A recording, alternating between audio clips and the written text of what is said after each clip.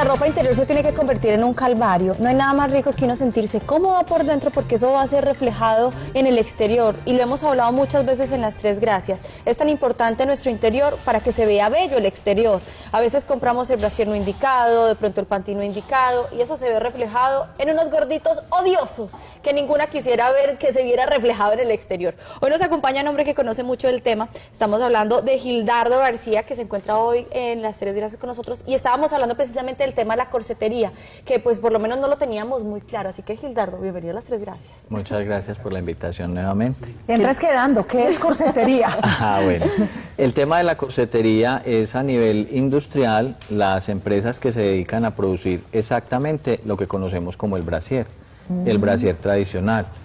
Entonces es muy bueno hacer esa aclaración desde ahí porque ese brasier casi que nace y evoluciona desde liberar a la mujer del corset, eh, de la corsetería, del corset de los, del siglo XIX, al siglo XX la libera, la, la vuelve más liviana, pero como que durante el siglo XX se fue volviendo a volver duro, apretado, con varillas.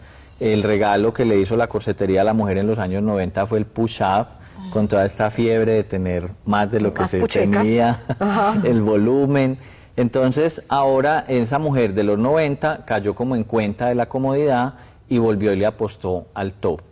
Ese fue como el principio de nacimiento, por ejemplo, de, la incursión de nuestra marca en ese mundo de la mujer. Una marca que había sido muy masculina apostó por la mujer porque le trajo como regalo el top en tejido tipo seamless. Que el top antes se utilizaba mucho para deportes, exclusivamente Exacto. Es que precisamente nace porque la mujer en los años 80 se hace consciente de todo el tema del gimnasio. Entonces encontró esa prenda que le daba el soporte para el gimnasio, pero que no tenía varillas, que no tenía broches, que no tenía sujetadores o controladores. Esta prenda que estamos viendo no tiene nada de lo que tú me estás mencionando. Mira, esa por ejemplo, si ella se da la vuelta, vamos a ver que atrás no tiene sino el, típico varilla, pero es porque esto eh, la típico cierre porque esto es un strapless, ¿cierto? Pero ahorita le vamos a ver en los próximos que es una evolución hacia la corsetería del concepto de la prenda sin ni siquiera el broche de atrás, como si fuera un top. ¿Qué es un top? Una camiseta Incluso tú tienes ahí la muestra del deportivo, pues que creo que todas conocemos. Los que, los que todas conocen como el concepto seamless, que no tiene costuras laterales, que es una prenda que envuelve como una segunda piel, y el concepto es de camiseta. Te lo quitas y te lo pones como una camiseta. Inclusive el tallaje es SML, como de camiseta, como de t-shirt. Este que ella estaba mostrando va a tener esa base de, de tallaje, porque no va a estar sujeto a la medida estándar de copas. Pero, Entonces va a haber una copa estándar eh, tipo B, porque es una prenda mucho más flexible y más amable. Pero por ejemplo esta, Gildardo, me gustaría tocarla porque muchas mujeres que somos de gusto pesado le tememos un poco al tema del top, en cuanto al sostén y el, el poner todas las cosas en su sitio. Una prenda como esta, que tiene la tirilla gruesa, y tiene unas características acá especiales, ¿le sirve el busto pesado? Claro, esto está diseñado para busto pesado porque también la corsetería siempre ha presentado a la mujer una prenda muy armada. Esta es nuestra evolución a corsetería. Entonces, esta te está regalando el volumen. Esta prenda sostiene tu volumen, se construye mm. alrededor de tu propio volumen. Ah, Entonces, en el punto de venta, a veces, al comparar esto con esto, pensarías, uy, qué prenda tan fea, tan mal acabada en realidad es que esta te está regalando soporte y volumen, esta va a trabajar con tu propio volumen, te lo va a armar. Entonces miren, por ejemplo, esta prenda, divina. al dar la vuelta vamos a ver que se, trabaja como una t-shirt, como un top, eh, completamente lisa y arma muy bien en, la, en, en el cuerpo, inclusive miren que la modelo se le ve muy bien porque separa muy bien el busto para ciertos tipos de vestimentas tipos de t-shirt o de vestidos inclusive que son más escotados, más abiertos. Entonces tiene muy buena separación y muy buen calce la prenda. Ay, el panty es hermoso. El panty es el otro concepto. Como ella lo expresaba en un principio, la ropa interior no tiene que ser eh, incómoda. En nuestra marca el concepto es el verdadero confort, viene desde adentro. Y además no una prenda cómoda no tiene por qué ser fea, porque ese era otro concepto errado que teníamos. Entonces, si nos poníamos una prenda que de pronto tenía un mayor control o que era mucho más cómoda o que era sin costuras, era una prenda de viejita. ahora es tener los dos en una, el sex appeal y la comodidad. Esto, por ejemplo, lo llamamos viva libre, porque miren que es un panty que no tiene los acabados tradicionales, es una prenda al corte. Entonces el temor de la gente a veces es, uy, pero eso se me va a desarmar.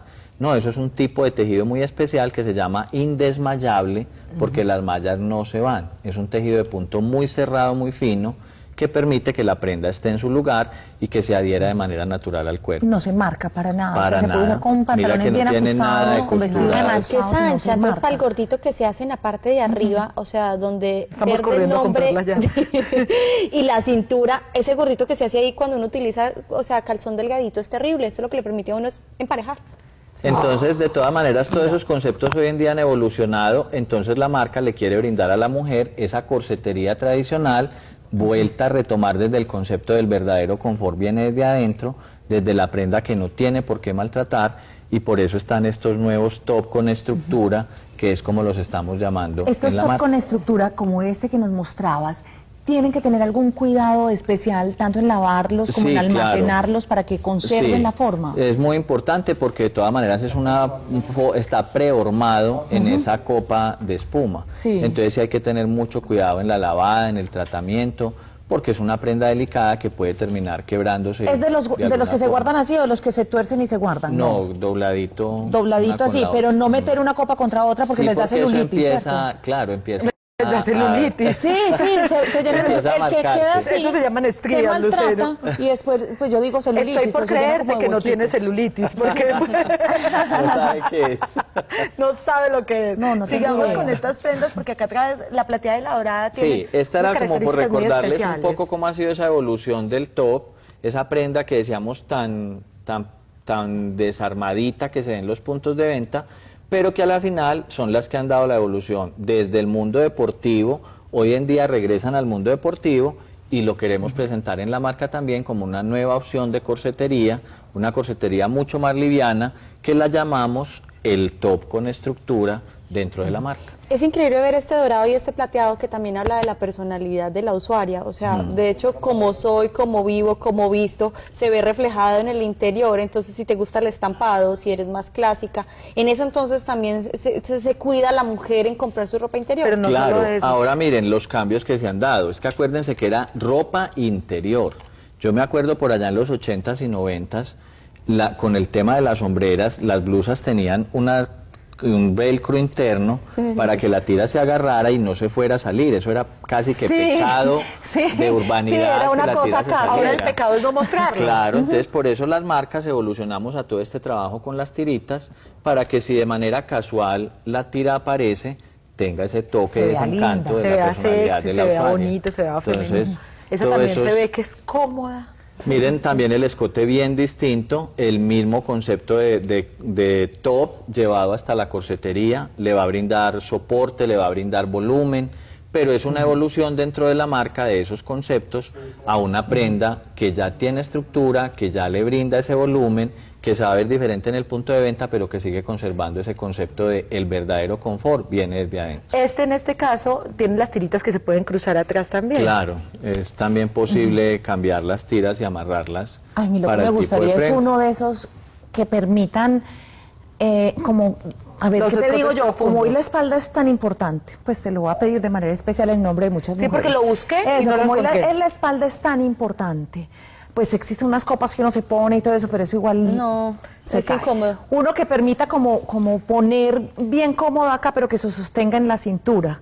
Se los puedo recomendar para la próxima colección, ya que Vamos a trabajar en el diseño, a ver qué, logramos como estructura. Pero esto de tener comodidad y verse bien, verse bonitas y que las cosas estén en su sitio. Sí, bueno, que todo esté las donde tenga Las dos cosas estén en su sitio. El otro, el otro tema muy importante es la fibra. Normalmente la corsetería evolucionó desde los algodones y hoy en día la fibra protagonista es la microfibra. Una fibra ultra liviana, ultra transpirable y por lo tanto hipoalergénica, que inclusive en el panty hoy en día está llevando a que la mujer no necesite la entrepierna o puente en algodón porque es una fibra que mantiene la zona íntima femenina seca, que es lo ideal. Que viene esa evolución de todo, como sí o no. Pues divina esta nueva colección, hoy aprendimos de corsetería. Como siempre el agradecimiento ya se volvió la modelo de las pies, gracias. divina. es un camaleo, pero siempre está con nosotros. Muchas gracias. Y bueno, llegó el monstruo de la cocina aquí a las tres gracias, hoy con un solomito de vino tinto, pero maravilloso. Y mientras vamos acomodando todo en la cocina, recordarles que hay muchas formas de comunicarse con nosotros. Una que nos fascina es el Facebook, el Twitter también, estamos siempre pendientes de los trinos eh, de ustedes a través de este medio. Y en Facebook nos encuentran... nos encuentran como Las Tres Gracias. Buscan Las Tres Gracias, programa de televisión, o tenemos una página también que es complicidades.tv, donde actualizamos temas y repetimos muchos eh, de los invitados que tenemos en el programa para que los puedan ver a cualquier hora. También a través del correo electrónico, pauta las tres gracias arroba gmail.com o no, la llamada, la clásica. Ajá, entre otras, mañana el programa va a estar tan bueno como siempre. Ay, sí, es súper chévere. Es una obra que ha estado alrededor del mundo con un éxito total. En Colombia creo que ha tenido llenos, en Bogotá fue excelente. Y ahora que llega a Medellín es súper chévere porque habla sobre, sobre seis miembros que tienen problemas de desorden compulsivo, o sea, el TOC. Trastorno obsesivo compulsivo. Exacto, esa vaina, esa misma. Y resulta que están esperando al psiquiatra, pero el psiquiatra nunca llega. Entonces, entre ellos mismos solucionan sus problemas. Está buenísimo. imagínense que el fin de semana que estuve reunida con unos amigos, uno de ellos ya la vio. Y me decía, no se la pueden perder, es una única función en Medellín, pero las actuaciones de todos son entretenidas de principio a fin. Y los actores vienen mañana, ¿te gusta el teatro? Mucho. rico, ¿sí o no? Ellos van a estar en función el sábado. El sábado. Ay, y la que está también en Medellín es la Ascárate. Sí. También. Eh, y tenemos invitaciones para ir a ver a Alejandra Ascárate. Y en el Teatrico también está Amparito. Amparo. un montón de cosas buenas. Ajá, hay mucho para hacer. Bueno, vamos a seguir con la cocina de las tres. Gracias. Y mañana mañana también son guajiros para que bailemos salsita o un buen ah. rato y empecemos el viernes. Como debe ser. Sí, vamos a sumas.